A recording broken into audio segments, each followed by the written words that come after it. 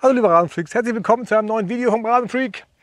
Wir werden hier ja ein Grün, ein Golfplatzgrün anlegen und wir müssen jetzt dringend mal so die Größe festlegen, wie das so hier gebaut, aufgebaut werden soll. Das wollen wir jetzt hier aufmalen, gleich mit ein bisschen ein paar Stöckern und ein bisschen Kreide. Meine Frau ist dann ab und zu mal vor der Kamera. Äh, wir müssen wissen, wie groß das ist, wie so die Ausläufer sind hier, wie das jetzt hier so hoch geht. Schatzi, kann doch mal anfangen. Das geht gar nicht.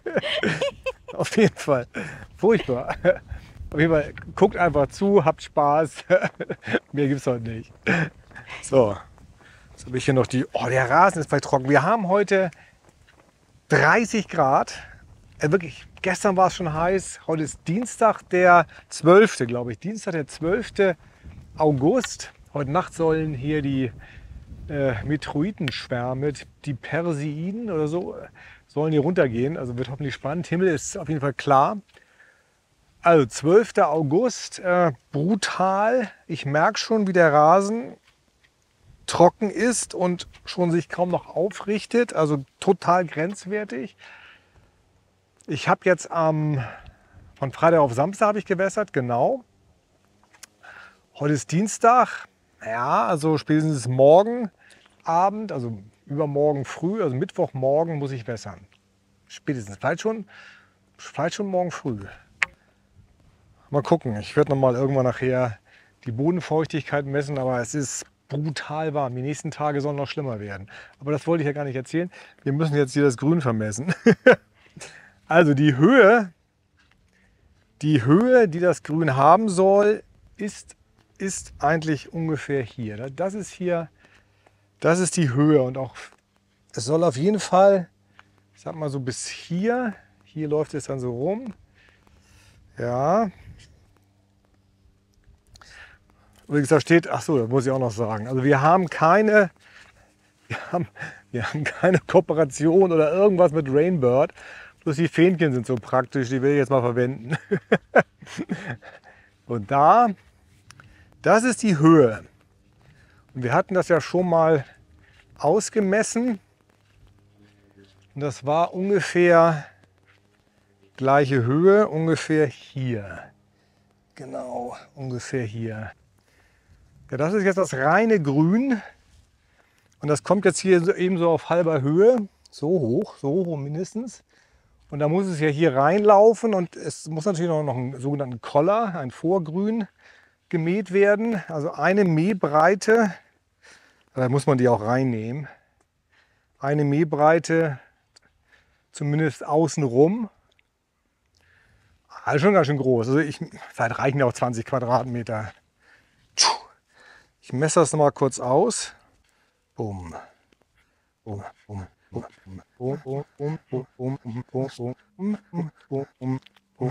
ja. Nee. Ja. Wo seid ihr da? Das sieht gut aus. Das sind jetzt, ja gut. Das ist jetzt schön rund geworden. Sieht man nicht, spiegelt sich. Jetzt. Da? So ist gut. Mhm. Das ist jetzt schön rund geworden. Das sind jetzt tatsächlich 22,7, ja sagen wir mal rund 22 Quadratmeter. Ja gut, das ist groß genug. Jetzt müssen wir ja hier, hier ist der Sprenger, da sind wir auf jeden Fall unten. Und jetzt muss man natürlich jetzt hier von unten jetzt hier noch hochfahren, um hier oben jetzt aufs Grün zu kommen. Dass das ganz gut auch gemäht werden kann. Da muss alles rundherum angeschüttet werden. Gut, dann male ich das jetzt mal mit, dem, mit der Sprühfarbe an. Wahrscheinlich sprühe ich mich jetzt an.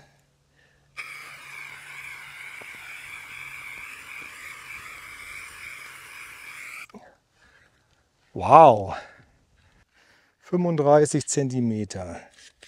Also so hoch, so hoch wird das Grün. Ja. Bis da.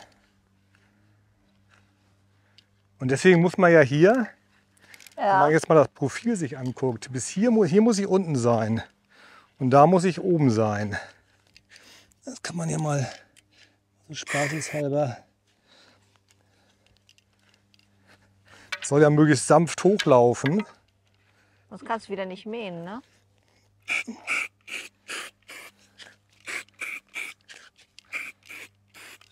So. Und, und jetzt will man natürlich hier runter. Naja, hui. Da musst du mal die Kamera draufhalten. Ja. Das wäre jetzt das Profil. Das ist tatsächlich. So wäre es besser. Und das geht ja, das geht ja bis hier. Und läuft dann hier raus. Hier geht alles hoch. Genauso hier. Das, das heißt, das können wir nicht alles wegnehmen. Das ist doch Wahnsinn.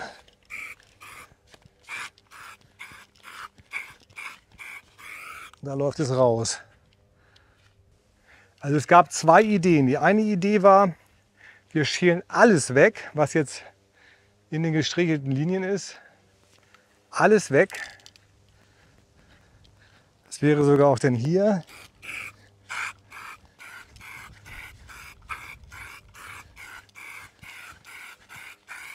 Wir hatten jetzt überlegt, alles hochzunehmen, also mit dem Sodenschneider die ganze Grasnarbe abzuschälen, aufzurollen und dann da drüben einzubauen, da wo mal unser Sandbunker war. Das finde ich aber echt zu viel. Die zweite Alternative wäre, wir schneiden hier nur mit dem Sodenschneider immer ein, rollen diese Soden auf, unterfüttern und legen dann die Soden wieder drauf. Das ist jetzt hier gleich die Höhe, dass wir die Höhe haben. Hier kommt dann irgend so eine, ja, ja genau wie das Ben Sims gemacht hat, hier so eine, so eine Gummifolie, so eine, so eine Kunststofffolie, die wir hier senkrecht reinstellen. Weil hier innen kommt jetzt ein ganz spezieller, eine ganz spezielle Rasentragschicht, vor allen Dingen Sand. Und es ist halt die Frage, wie man das jetzt hier stabilisieren kann. Ich will jetzt hier nicht irgendeine Metall oder eine Kunststoff. Weiß ich noch nicht. Äh. Also es ist ein Mega-Projekt, soweit erstmal, soweit erstmal der Zwischenstand. Also wir haben jetzt erstmal so ein paar Eckdaten für unser Expertenteam, nämlich die Firma Grasshopper unterstützt uns. Und ja, wir werden da so ein paar ganz coole Sachen vielleicht noch machen, einbauen. Und deswegen wollten die mal wissen, wie das jetzt ungefähr aussehen wird. Und das war das Ziel. So, fertig. Danke fürs Zuschauen. Tschüss. Aber ich würde das nicht alles weg. Ich würde das. Boah, Das ist, viel ich meine, wir können eine ganze Menge gebrauchen für den, ähm, für den Bunker. Das ist eine riesige Fläche. Habe ich ja wir mit- ausgerechnet, das sind 40 Quadratmeter. Genau, da kommen wir mit den 23 ja gar nicht hin. Nee. Also insofern kann man schon an irgendwelchen markanten Stellen oder wo der Rasen jetzt nicht ganz so tippitoppi ist, was weiß ich hier Also mit konsequent wäre es, alles wegzuschälen. Ne? Das wäre wesentlich einfacher. Du schälst alles weg und kannst dann ganz sauber hier, ganz sauber äh, walzen und Ja, stimmt. ja, aber es soll ja sowieso hier auch dann ein guter Rasen, guter Rasen sein. Ja, aber da, äh, ich sag mal, das ist äh, drin, ja, bin, bin ich ja voll bei dir, aber außen läuft doch eh die Agrostis wieder rein. Also von daher, du wirst doch nicht noch eine Rasensorte hier anpflanzen. Will ich nicht. Fürs Grün verstehe ich das. Will ich nicht. Da kannst du dir gerne was Hübsches aussuchen. Aber außenrum muss doch der Rasen sein, den wir schon haben. Du willst ja hier nicht was anderes hinpflanzen. Ich weiß ja nicht, wie gut das geht, das hier jetzt auszuschälen, Ja, das müssen wir aufzurollen, Das haben wir da dann hinten zu auch gemacht. unterfüttern. Das haben wir da hinten auch gemacht. Ging wunderbar. An der Südkante. Haben wir einfach abgeschält, aufgerollt, daneben gelegt, untergefüttert, wieder hingerollt. Ja gut, da, wenn man, wenn du mit es ganz, okay, also ich wollte es nur zurückrollen, dann die Rolle hier liegen lassen und dann wieder nach vorne rollen. Verstehst du? Das verstehe ich, ja. Also du musst das ja, das liegt ja, oh Mann ey. Ist mit dem Kreis so eine, so eine gewisse Sache da, Genau, das ist das Problem. gerade Bahnen abzuschälen, ne? Und die dann wieder ranzustückeln. Da kannst du eigentlich die, na gut, man kann natürlich immer gerade Bahnen schälen. Dann wird es eben auch mal eine schmale. Ne? Ich meine, wenn du hier anfängst, eine gerade Bahn rüber zu schälen, dann machst du hier eine und hier eine und hinten wird sie halt immer schräg. Ne? Das ist eben das Blöde. Mhm. Da hast du schon recht, da wäre es einfacher. Sie einfach abzuschälen, einfach, hinzulegen, einfach abschälen. zu modellieren und wieder raufzupacken. Also ich würde so machen, ich würde tatsächlich alles wegschälen. Ich würde alles nehmen und rüberlegen. Ja. Dann ist das da drüben fertig. Und dann würde ich gucken, ja, was habe ich hier übrig? Und äh, würde das nur noch wieder hinlegen. Wahrscheinlich schmeißen wir das dann weg, da bin ich ziemlich sicher. Mhm. Weil dann machen wir das eh hier alles neu. Ja, es sind so viele Arbeitsschritte, ne? Wenn wir das alles rübergetragen haben und reingepackt haben und reingeschnippelt haben, äh, dann ist ein Tag um, ne? Also was, das Erste, was man eigentlich machen sollte, wäre wirklich nur hier diese innere Fläche einmal abschälen. Als allererstes die hier einmal sauber rausschälen. Ja. Dann hier abstechen, senkrecht, auf eine, auf eine Ebene, ein Niveau bringen. Alles auf eine Ebene bringen, dass das alles hier eben ist. Ja, da kannst du schon mal die Folie hinstellen. Und dann die Folie hinzustellen, wie ja. auch immer. Und dann mit Stöckern oder so diese Folie irgendwie zu befestigen, die senkrecht hier hinzustellen. Und dann hauen wir hier ganz viele kleine Holzstöcker hin, so Holzflöcke hin, damit die Folie stehen bleibt. Ja. Und dann kannst du von außen, kannst du dann den Mutterboden ranschieben. ranschieben oder dann kannst du von außen wegschälen. Die steht nicht, die dünne Folie, die kippt einfach weg. Ja, natürlich. Erst recht da unten, wo ja nichts, gar nichts ist. Da ist ja nichts innen und nichts außen.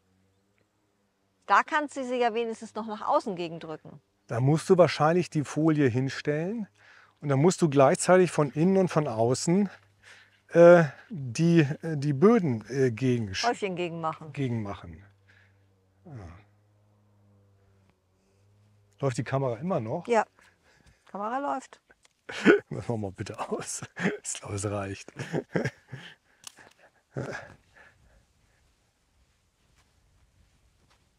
Ah,